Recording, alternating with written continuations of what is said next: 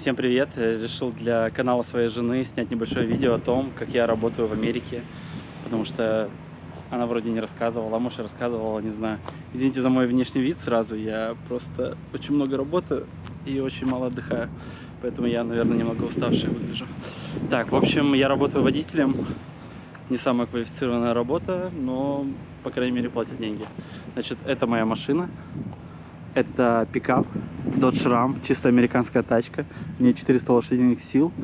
И она очень мощная.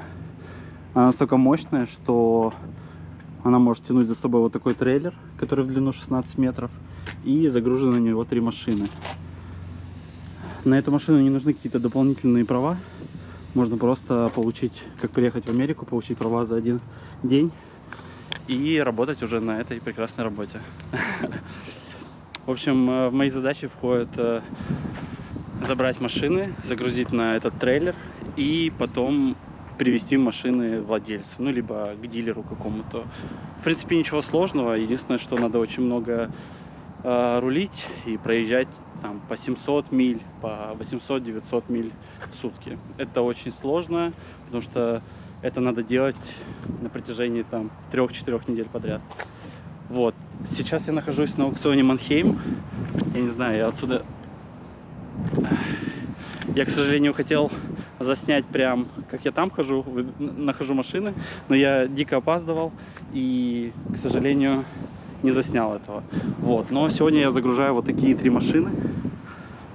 Это Chevrolet Equinox, вроде 2020 года, Chevrolet Blazer, тоже вроде 20-го. И тоже пикап. Пикапы вообще дико популярные в Америке. Это GMC. У него сзади вот такой, это называется flatbed. Сюда вот можно установить какой-то ящик с инструментами. Он закрыт, тут замки. В общем, пикапы вообще тут очень сильно популярны, их используют прям для всего. То есть я вожу вот такой вот а, длинный прицеп, кто-то возит такой флетбед. А, есть вот э, сзади, точнее не сзади, вон спереди, тоже это пикапы, только поменьше. Ну, короче, наверное, самая популярная машина в Америке пикап. А, я сделал предварительную инспекцию всех этих трех, машин. У меня есть приложение в телефоне, в котором я отмечаю всякие царапины и прочее, потому что я responsible, это по-русски ответственный ответственность за машины, за их доставку в том виде, в котором я принял. И если при доставке обнаружат, что я что-то покорябал или помял, с меня снимут деньги. Но снимут не больше двух с половиной тысяч, потому что это страховой депозит. То есть даже если я ушатаю в хлам вот эти три тачки, а, вот этот трейлер со своим пикапом, кстати, вот скулбас, то с меня снимут всего две с половиной тысячи, а остальное покроет все страховкой. Вот, сейчас я покажу, как я загружаю эти машины на свой трейлер. И все. Так, ну давайте я еще покажу. Может, что внутри. Chevrolet Equinox, если кому интересно. А может быть, никому не интересно. Ну, машина использованная. Так, заводится отлично. На ней 25 тысяч миль пробега. Это примерно 40 тысяч. Но видите, как американцы относятся к своим своим машинам. То есть все грязно, все липкое. И это обычное явление в Америке. То есть они машины вообще, тут как будто блевотина какая-то. Они машины вообще не ухаживают за ними, как в России. То есть в России, если машину купил, особенно если новую, то ты там за ней ходишь и пылинки сдуваешь. А тут это просто какое-то средство передвижения и все. Поэтому они... Вот, давайте я другую покажу, но мне кажется, там также. Ну хотя нет, тут почище. Это тоже Шевроле.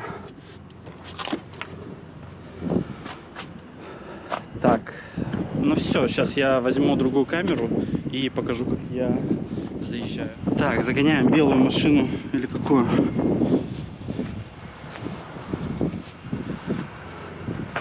Я лучше вот эту первую загоню.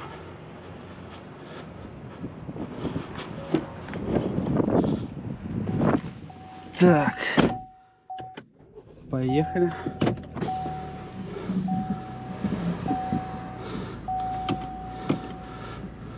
Работа интересная, потому что постоянно на разных машинах ездишь. Это очень привлекает. Не на таких, конечно, поновее. Гораздо приятнее. А почему не едем? Ох, нифига себе. Резкая. Не ожидал такого. Короче, я не знаю, отсюда видно, не видно, как я снимаю. Но вот там есть рампы, по которым надо заехать на трейлер. Так, немного криво, мне кажется, стали. Так, еще главное не покорябать сзади машину. Надо придется платить. Доставка будет бесплатная.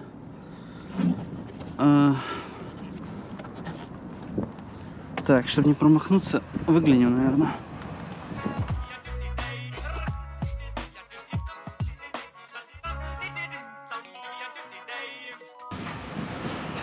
Хоп, едем до удара. Отлично. Первая есть. Так, выключаем. Ключи я тут оставляю, чтобы не потерять. Все отлично. Та камера снимает? Меня видно? Надеюсь, снимает, потому что я не буду эту дверь белую.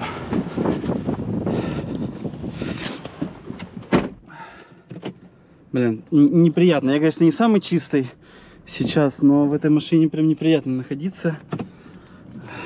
Ручка прям липкая.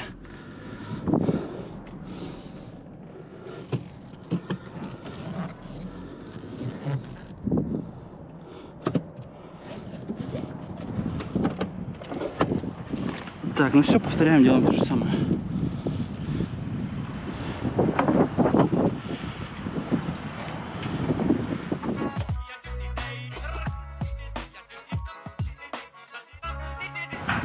Так, главное, чтобы мой телефон не упал, который снимает. Но ничего, он застрахован.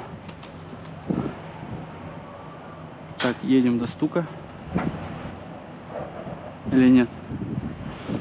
Ну, в принципе, сзади вроде место нормально.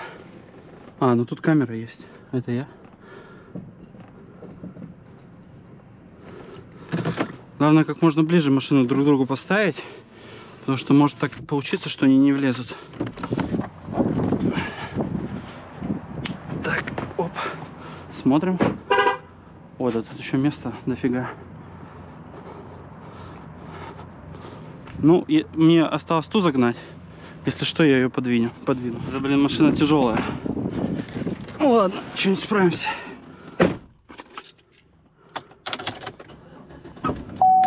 Оп. Хорошо, что завелась, а то бывает... Бывает не заводится. Из-за того, что аккумуляторы сели. Нифига, как сложно. О.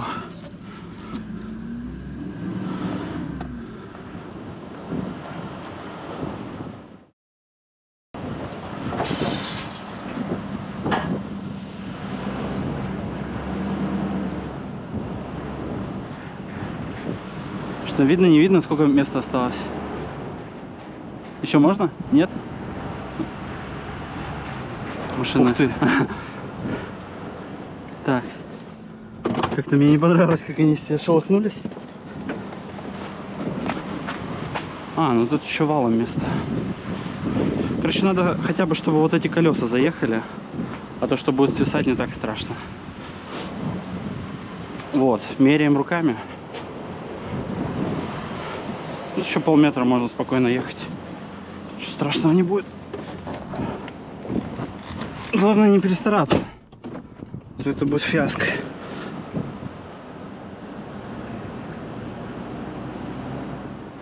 Все, я думаю, достаточно уже точно.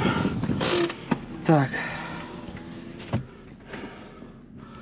Ну что, вот такое вот получилось видео. Сейчас я эти машины все закреплю и поеду. Я, кстати, сейчас нахожусь в городе Канзас-Сити, это штат Канзас. И поеду я в Техас. Сначала в Даллас, а потом в Хьюстон. Вот такой у меня будет интересный trip. Если, если будут какие-то вопросы, пишите, могу еще что-нибудь снять интересное. Потому что тут постоянно что-то случается.